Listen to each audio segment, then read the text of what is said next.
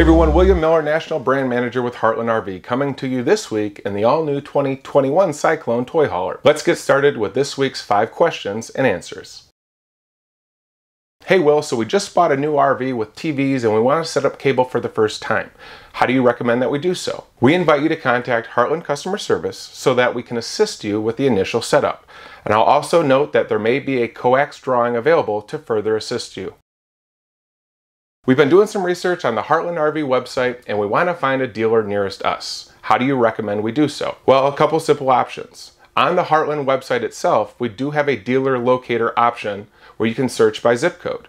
Or if you're more comfortable, go to Google and simply type in authorized Heartland dealer and enter your zip code, and you should have some options.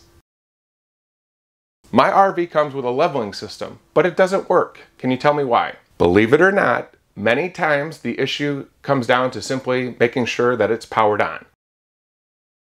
I ensured that my power was on, but my RV unit will not auto level. Can you tell me why? In addition to ensuring that it's properly turned on, you have to also make sure to check the control setting is set to auto instead of manual.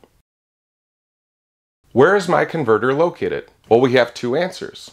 If you have a fifth wheel, you're going to look at the front wall to the back wall of the basement to find your converter. And if you have a travel trailer, it's going to be located below the breaker box. And that's our five questions, five answers for the week. If you have any other questions, contact our Heartland customer service team. We look forward to answering more of your questions. And maybe, just maybe, one of your questions will show up on this show. Thanks, everybody.